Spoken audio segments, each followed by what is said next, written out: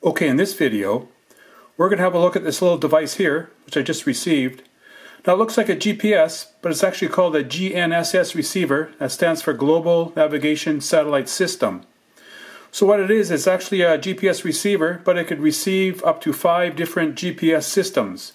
So the first one is the Galileo from Europe, and then there's GPS from the United States, there's GLONASS from Russia, and there's the BDS system from China, and the QZSS system from Japan. So all these systems are under an umbrella for the GNSS receiver, which this can receive, and other error correction systems. So it takes all that data from all those systems and gives you a more accurate reading. So I'm going to take this uh, device, I'm going to plug it in a breadboard and power it up and check out the operation. Okay, here's a schematic diagram on how I'm going to wire it up my breadboard. So all we need is a GNSS GPS module and an FTDI module, and we jumper the FTDI module for 3.3 volts. So the VCC output of the FTDI module is going to power the GPS module. The TX output of the GPS is going to be fed into the RX input of the FTDI, and the two grounds are going to be connected together. So we're going to have NMEA strings coming out of the TX port at 9600 baud into the RX port of the FTDI module. And all we have to do is plug a cable from our USB connector here to our computer and run a serial terminal program and we can monitor the NMEA strings coming out of our GPS module. Okay, I have my GPS receiver powered up and it's connected up to my FTDI module and you can see there's data about every one second, that's my NMEA string and if you look closely there's LED underneath that's blinking, that's one pulse per second LED blinking. So we have activity. Now this uh, GPS receiver has an external antenna as opposed to the Neo 6 GPS, which I made a video on.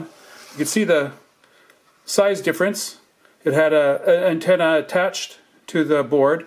This one's external, so you could actually mount this GPS in a metal enclosure and then have the antenna on the outside. So we're going to have a look at the NMEA strings that are coming out of the GPS receiver. Every one second, you can see the LED blinking there.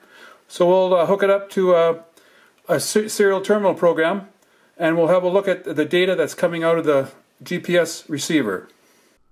Okay, I have a serial terminal program up and running on my computer. And this one is from Parallax. It's called the Parallax Serial Terminal. It's a free download from the Parallax website.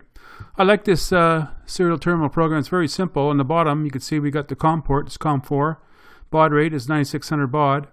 And I have some buttons here. There's a clear button. I could clear the screen, or I could pause or disable the, the screen. So I could freeze it so we could have a look at some of the NMEA sentences. So normally when I do a GPS project, I use two sentences, the GPGGA and the GPRMC. But in this case, since it's a global navigation satellite system, they're labeled GNGGA, which you can see here. So here's a sentence that I would use now. It's a GNGGA because it's using all five of the systems to give us this data, which is more accurate. So there's our time, just like the GPGGA. And there's a latitude, and the direction is north, and longitude. So there's all our data. And we're looking at 11 satellites. It's using 11 satellites. And the GPRMC, it's called the GNRMC right now because we're using the those five systems. So there's the data there, and it's active, A for active. So there's our NMEA strings. So now we could use these uh, sentences for a more accurate reading.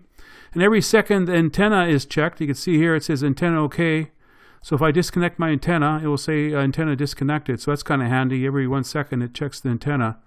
So that's how we could uh, extract now sentences from a global navigation satellite system uh, receiver for our project. Okay, so now you know how to extract NMEA strings from this little GNSS receiver. So there's no micro, there's no coding. All you need is an FTDI module.